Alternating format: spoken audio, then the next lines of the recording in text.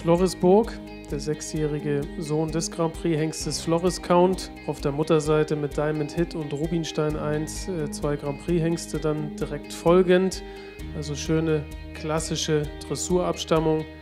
Ein Hengst, der neben seinem wunderschönen Typ immer wieder durch seine tollen Grundgangarten und vor allem auch durch seine hohen Rittigkeitswerte glänzt. Floresburg konnte in seiner sportlichen Laufbahn bereits erste Siege in Reitpferdeprüfungen verbuchen und war im letzten Jahr bis Dressurpferdeprüfung Klasse L altersgemäß im Einsatz, wobei er dabei stets platziert war. Rückblickend betrachtet wurde Floresburg als Prämienhengst von der Westfälischen Körung in Münster 2018 erworben.